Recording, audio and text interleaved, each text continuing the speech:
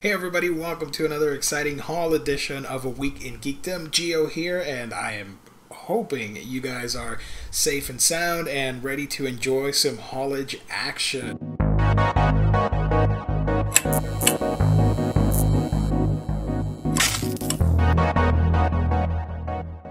Yes, at the end of every month, I like to do a haul video of all the geeky stuff that I acquired. And if you want me to review any of them, as always, let me know in the comments section down below. So let's get started with uh, anime and manga. Actually, let's do manga first because manga's cool.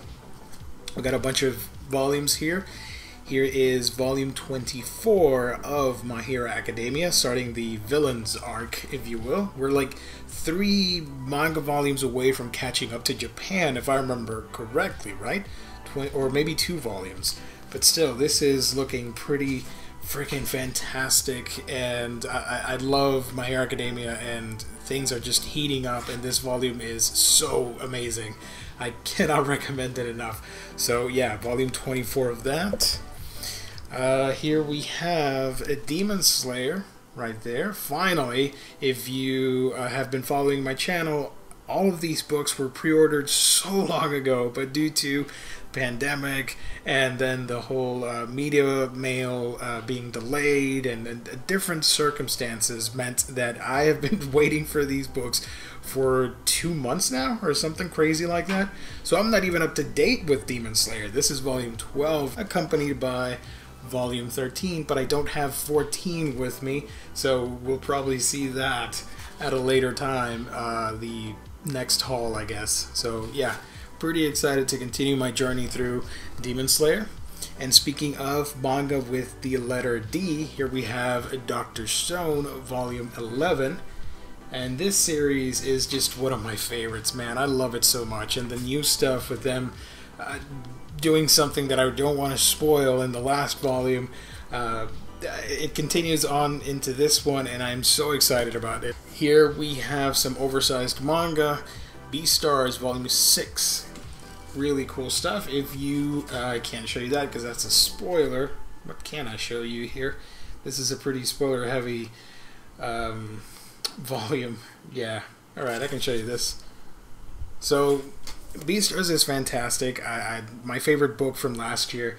And if you've only watched the anime and if you're wondering where to continue after finishing the series, the first season, this is the volume you should get because the anime adapts up to the halfway point of this book. So, yeah, volume 6 onwards, you're going to be treated to some amazing things. So, yeah, Beastars volume 6.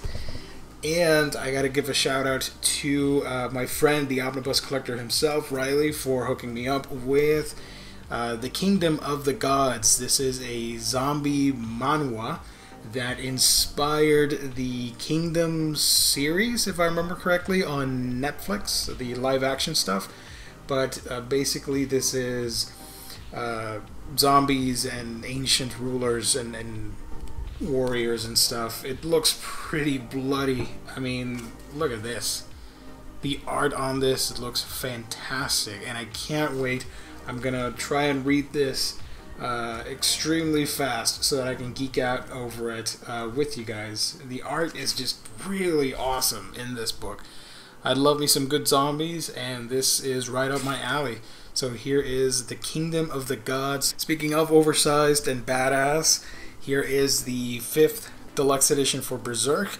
I, have already read this because I own the whole series in the regular editions, but I've been slowly upgrading as these come along. So now we officially have the entire Golden Age arc in deluxe edition format, and that is uh, amazing, epic, and I cannot wait to get the rest of the series in deluxe edition. Volume 6 is scheduled for November, if I remember correctly, so we'll be done in no time. Here's a cool panel from the book. I tried to pick something out that won't spoil the story, just in case you are reading Berserk for the first time. This shouldn't be a spoiler whatsoever, so yeah, I'm pretty excited. Uh, to own this bad boy. And and these deluxe editions, man, they're fantastic. I didn't get the Hellsing one because uh, I, I, have the Ultimate series, and I I've loved that, and I've read the story. So I don't I don't know if I'm gonna upgrade because I already have the series, and I'm trying to avoid getting uh, or repeating things. Like I'm already doing that with Demon Slayer and My Hero Academia, where I have the anime and I have the manga. I'd rather use that valuable shelf space for uh, another deluxe edition manga or something further down the road or something like that. I don't know. But yeah, uh, the Hellsing one looks fantastic as well. Who knows? Maybe in the near future I'll get it. We'll see. Let's move on to collected editions since we're talking books. Leave anime for a little bit. Uh, this is something really cool, and I gotta give a shout out to uh, Learman Condition because they put out a video on the Street Fighter books, and I have been wanting to get into the Street Fighter books for a very long time. You saw volume one on the last haul, and I ordered the rest of the classic, which is the first uh, volumes in the series. So here we have volume 2 hardcover right there. I got this from Mountain Man Comics, if I remember correctly, a local shop in Georgia. So yeah, they were kind enough to hook me up with this. That is really cool because I do believe you can still find them in stores, but online, uh, some people are kind of asking a little bit over cover price for this, and I, I, I didn't want to overpay for these books.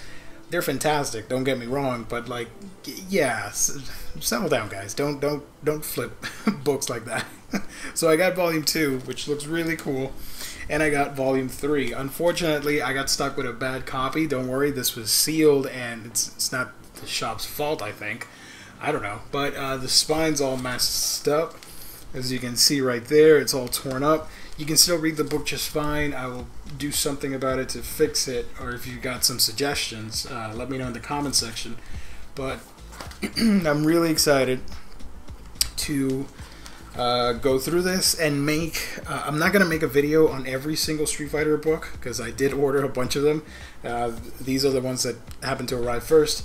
Uh, for example, I am going to make a Street Fighter Classics review and then I'll move on to the next series and, and group every volume together. So it's not like an overabundant um, uh, catalog of Street Fighter videos because a lot of you don't really like watching volume 2's on your YouTubes. You prefer volume one or a full series review, so I'm not going to bore you with that. Finally, I have with me here Kaiju Max Deluxe Edition Volume 2. Uh, this is one of my favorite series. I made a video on the first volume if you want to check that out. My first impressions on Kaiju Max. Not the deluxe edition, but the trade paperback. Just know that it keeps getting better and better after that. So I don't know, maybe eventually I'll do a video like a full series review on what I've read so far with Kaiju Max with Volume 1 and Volume 2, or I guess this is Season 2, or something like that.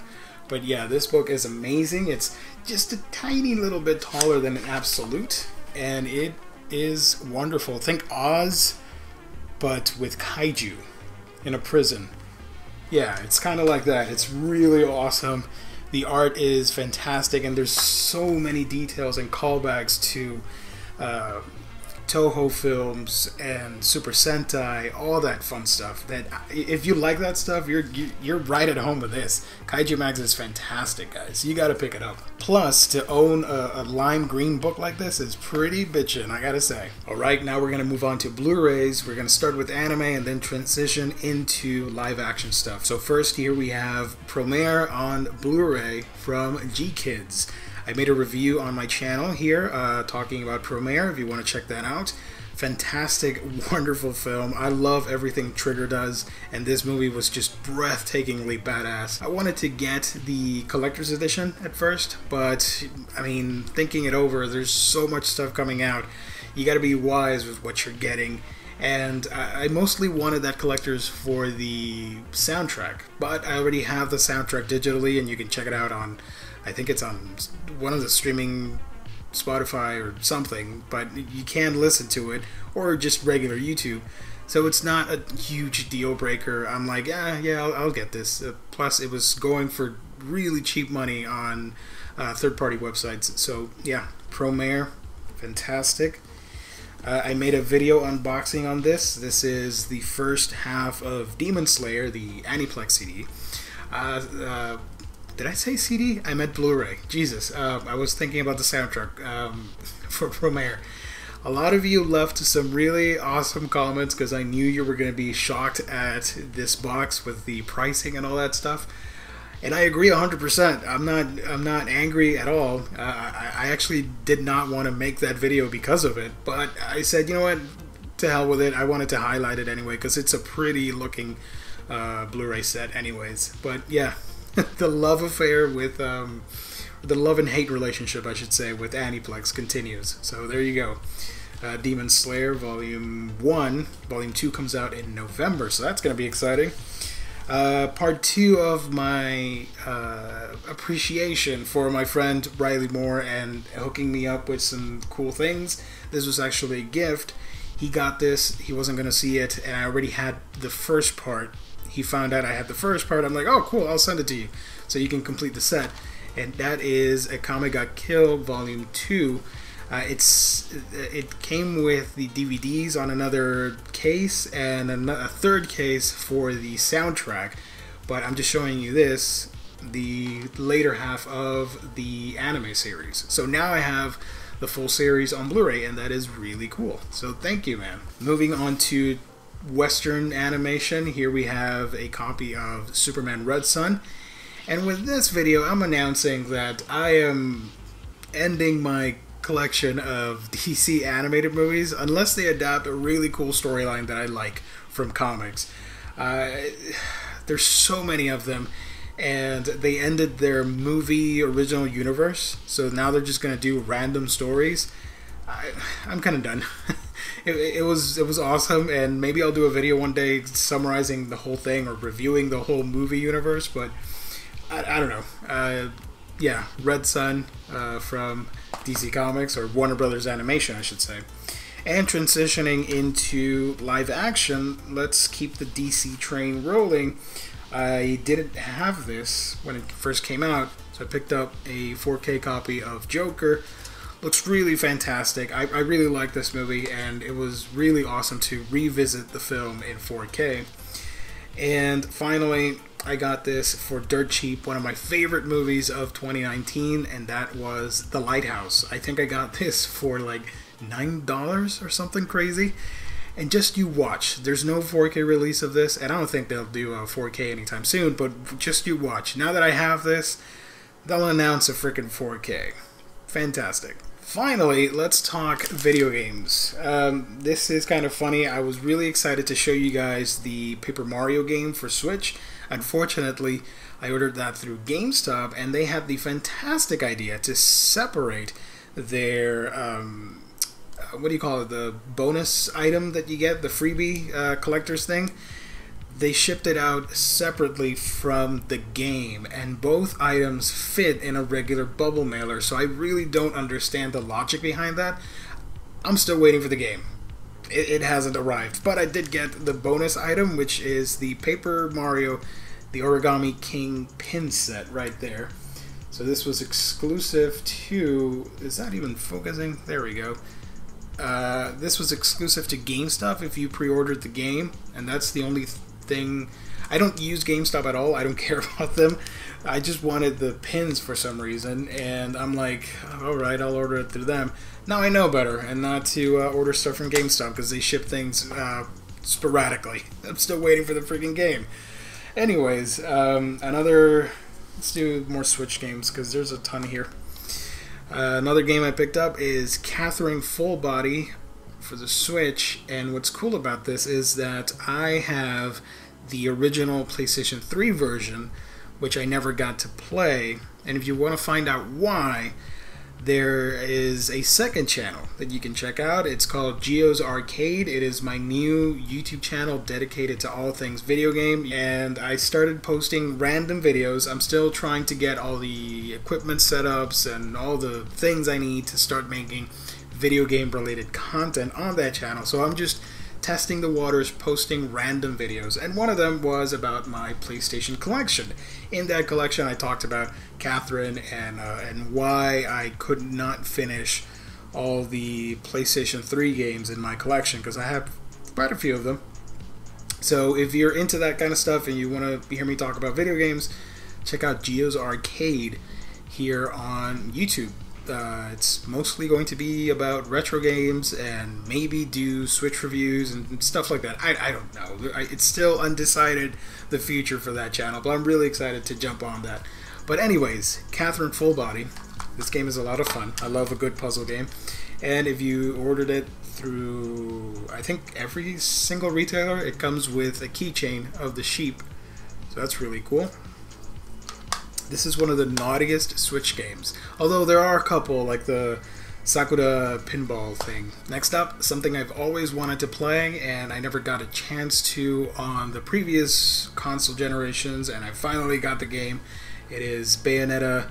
Uh, although it's Bayonetta 2, it does include the code for Bayonetta 1. I found it um, sealed, which is rare because everybody sells it with the code already redeemed. You're just buying Volume 2 or game number two.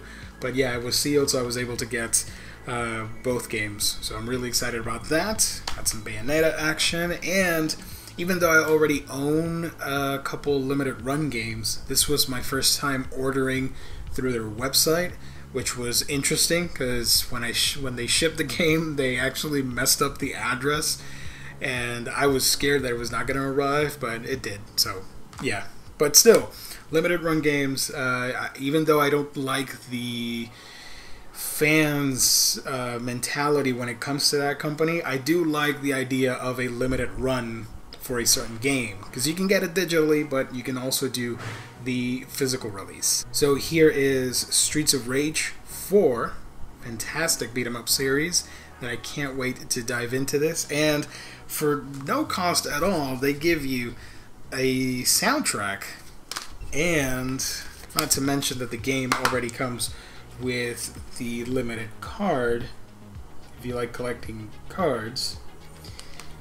And it has an instruction booklet which is just fantastic. For the price of what 30 something dollars was it? You can't you can't beat that. I mean come on I mean, look at look at freaking uh, Nintendo with Paper Mario. I, I, I and GameStop. I only got this thing, and it, I didn't even get the freaking game. Come on. You also get one of these newspaper things, but um, uh, that's more about the info on the company and stuff. Uh, anyways, what else did I get? Oh, one more Switch game. That is the Wonderful 101 Remastered Edition. Really excited about this. I never played the original, so I'm excited to check out the remastered Switch port. And uh, finally, two more video games for you guys. I mentioned last video that I was getting into the Gears franchise with my Xbox. So yeah, I got Gears of War 4 with the code for the previous game, so I was able to download 2, 3, and uh, Judgment. So yeah, really excited about that. Gears of War 4. All I need is Gears 5, I guess and the hot title that everybody's talking about, Ghost of Tsushima. Here is the launch edition, the basic edition. I was going to get the collectors, but it was a little bit too out of my price range. Is that a thing? I don't know. It was a little bit pricey, and all I wanted was the mask. I didn't care for any of the extras, so it'd be kind of a of a waste. So I got the game instead. Um, so yeah, uh, that is that's the haul, guys. That was a lot of stuff. Hopefully, you enjoyed that. And again, if you want me to review any of the items that I talked about, except the movies, except the live action stuff, because I don't do that on the channel, but everything else the manga, the books, all that stuff let me know in the comment section down below. Thank you, everybody, for tuning in. Thank you for liking, commenting, subscribing, and being a part of a Week in Geekdom. It really does mean a whole lot. There's also a merch link down below for some Week in Geekdom shirts if you're interested. Check out Geo's Arcade if you want to hear me talk about video games. And that's about it. Uh, as of this video, stay tuned for more Fable Fridays. And uh, keep watching the channel for whatever video book review comes out next after this. So, thank you so much. I've got to go. I will catch all of you on our next video.